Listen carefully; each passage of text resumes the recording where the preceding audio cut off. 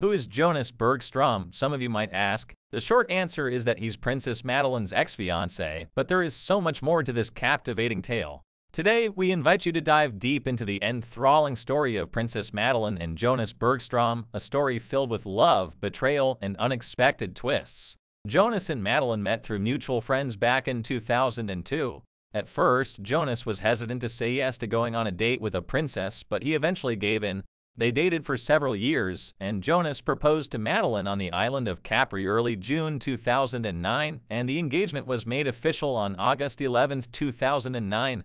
Originally, the wedding was supposed to take place in late 2010, and it was speculated that November was the month they would get married. However, things didn't quite go as planned. Madeleine and Jonas' relationship crisis can be traced back to early 2009 when Jonas went with friends on an annual ski trip to Åre in Sweden. He checked in at the hotel under the alias Jacob Bernström, and on this trip he met a Norwegian girl who he allegedly was intimate with behind Madeleine's back. Soon after, when media found out Jonas had checked in under an alias, it became clear he was hiding something. Rumors that Jonas wasn't faithful started to spread, and news of the couple's relationship crisis became more frequent. In early 2010, things really took a turn for the worse. They hadn't been seen together for months, and when Queen Sylvia, Madeleine's mother, was interviewed on April 13, 2010, she told the reporter that she had heard of the rumors and told him everything is fine with Madeleine and everything is okay between Madeleine and Jonas. But was it? Only a week after Queen Sylvia had made her statement that everything was fine, Norwegian gossip magazine Se og Hør published a tell-all interview with a Norwegian girl, Tora Upströmberg. Tora turned out to be the girl from Åre. In the interview, Tora claimed she and Jonas had been intimate in Åre. Tora did not recognize Jonas at first as he had introduced himself as Jacob the whole time.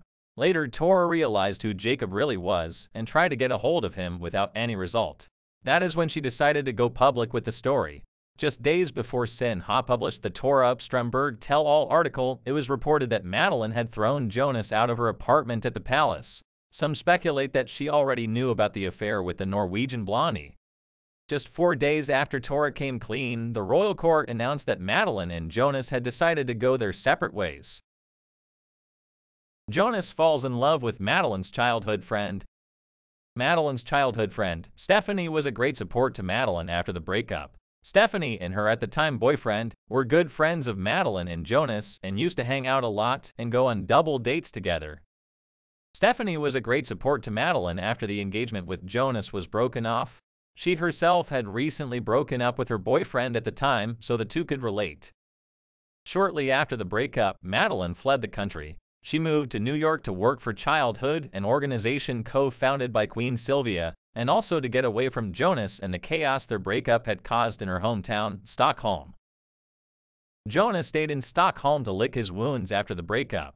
And while Madeleine was away in New York to get over the breakup, Jonas became closer to Madeleine's childhood friend, Stephanie. The two eventually started secretly dating, and in early 2011 it was official. They were a couple. When Madeleine heard the news, she is said to have immediately broken off all contact with Stephanie. Stephanie and Jonas eventually got engaged in October 2012, just like Madeleine and Chris O'Neill. Madeleine married Chris on June 8, 2013. Stephanie and Jonas got married on August 17, 2023. The reception was held at Stephanie's family estate in Sweden. Her bridesmaids were here good friends Malin and Ellie Nori. Malin is the founder of the popular Swedish fashion brand By Malina.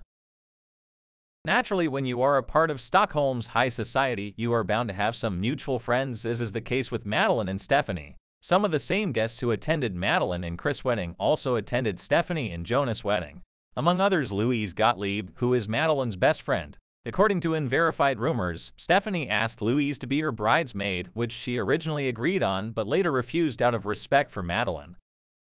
After all the chaos and everything Madeleine and Jonas went through from their breakup and until they met their new partners, it is good to see that both are now happy and in love again. Although the couples inevitably are bound to run into each other in the future with all the mutual friends between them, it is safe to say the hardest part truly is over. Currently, Jonas Bergström is a partner at a Stockholm-based law firm, and Stephanie is an entrepreneur. Stephanie founded her own clothing company called Soft Goat that specializes in designing and selling high-quality cashmere clothing. Jonas and Stephanie currently live in an exclusive neighborhood in Stockholm with their three children. Madeleine and Chris currently live in a luxury villa in Miami, Florida with their three children, Princess Leonore, Prince Nicolas, and Princess Adrienne, and their two dogs, Teddy and Oreo. According to information from the Swedish court, the family is planning on moving to Sweden in the near future. As for when that will happen, only time can tell. That is all for now. Thank you for watching. If you enjoyed this video, please give it a like by hitting the thumbs up button. Please subscribe to our channel for more videos on the Swedish royal family.